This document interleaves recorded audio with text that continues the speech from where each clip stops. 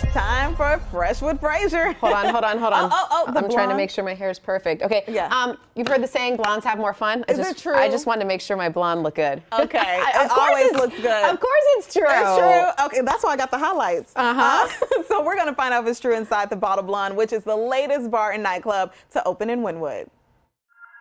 Bottled Blonde is a pizzeria and beer garden by day, but by night, and I think it's going to be uh, the future of uh, Miami. it turns into a nightclub with full-on bottle service and sections.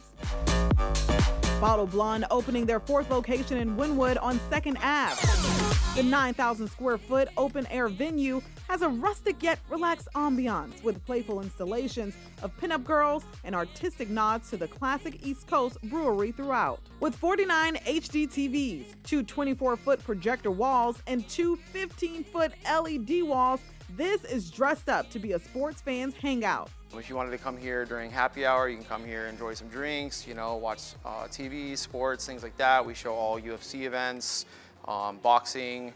The new addition to Wynwood is serving up some delicious dishes out of the kitchen. So this is our Bona pizza with uh, spicy salami, mozzarella, and we'll just finish this with a little pulled basil or burrata. And then we have some hot honey, watercress.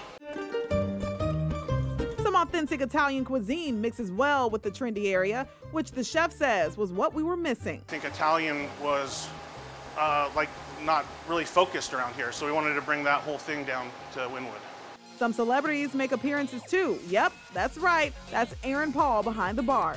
But we try to really uh, indulge in the client experience and make sure that we're providing good service and, and uh, making sure that our nightlife is uh, top, top notch.